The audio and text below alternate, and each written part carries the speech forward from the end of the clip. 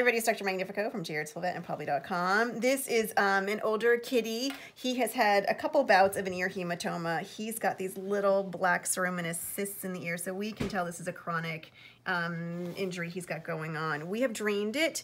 Now, this is the third time that we have drained it and has come back. So we're going to drain it today because it's late night on a Thursday night. Um, so I'm going to put a needle in and drain the fluid out. It should use, usually it's a bloody fluid.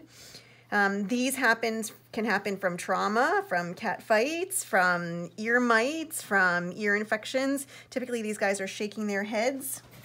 So this is the fluid that we're getting out. They're shaking their head or they're scratching at their ears and they're getting this, it's called an, an aural hematoma. So your ear has two sides to it, an inner, an inner or medial pinna and the lateral pinna. And with trauma or head shaking, um, the two pieces of skin will fill with fluid and you'll get what's called a hematoma. So right now, our, this is the quick down and dirty easy method to draining. We're draining with a butterfly catheter, um, trying to reduce the size of the pocket. And then I'm going to infuse a long-acting steroid in it. He's gonna come back on Monday morning, which is the first time we can do surgery.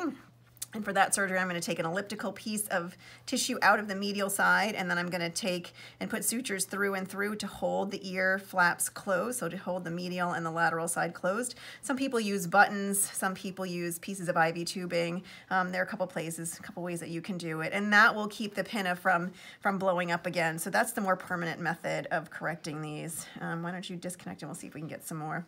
So, so sometimes the quick, easy method is just to drain the ear and then infuse it with a steroid.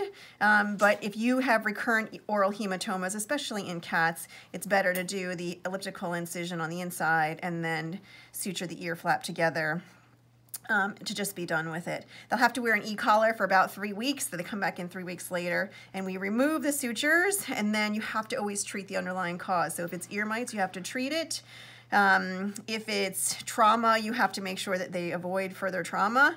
And, you know, for some of these guys, it just means chronic ear maintenance. So here's a good look inside his ear. All of those little ceruminous cysts are an indication that he's had chronic ear stuff going on. So he's just one of those guys that need better ear maintenance. If you have any questions about this, I, this procedure at this clinic is probably about $60. To put the sutures in is anesthesia, so it starts at about $150. But if you have any questions on this or anything else, you can reach me here at Jared's Or Pawbly.com. Take care. All right.